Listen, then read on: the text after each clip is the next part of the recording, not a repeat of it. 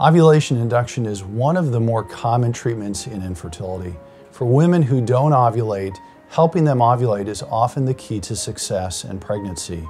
For women who are already ovulating, helping them produce several eggs at one time is also an effective treatment, especially when it's combined with other treatments such as intrauterine insemination. We can use either oral medications or injectable medications.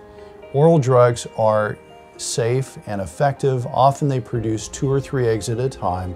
Both Clomid and Letrozole are two drugs that we use commonly. For injectable medications, this is often reserved for women who don't respond to oral medications who are not ovulating, or those who may want to produce more than two or three eggs. It is a more successful treatment, but there are risks of multiple pregnancies, and this is done through careful monitoring by ultrasound and blood tests.